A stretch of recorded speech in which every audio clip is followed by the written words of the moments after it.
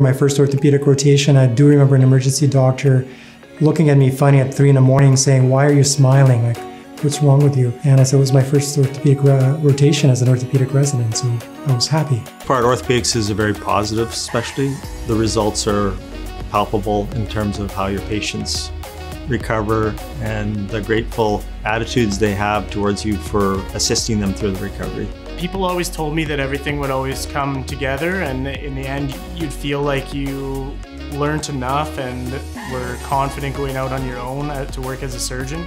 I see residents go from an R1 to or PGY1 to PGY5 and at the end they're doing things they were not doing before and they're doing them well. They're going to go out in the world and and be great surgeons. We're pretty proud of our section. We have a lot of younger staff. We have a solid residency program the things that usually come up in, in questions uh, from medical students are, you know, do you have an oncology program? Do you have a foot and ankle program or a hand program? You know, do you have simulation? Do you have labs? Do, do you work with engineers?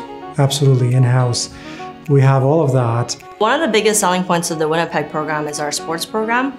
Uh, we have a world-renowned uh, sports program here and we have Dr. Peter MacDonald who's like a world-renowned sports surgeon. We've been able to purchase uh, simulators for arthroscopy in um, hip, in knee, in ankle, and in uh, uh, elbow.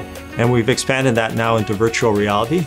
It's basically like playing a video game where you're training when you go into that next OR with your attending. It provides confidence and you're able to perform that operation like you've done it a hundred times before.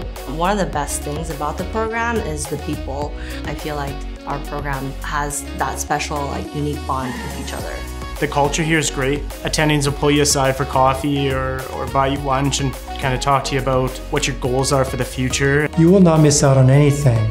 There is no doubt that you will have every little bit of exposure here in, in uh, Winnipeg and in Manitoba that you would anywhere else.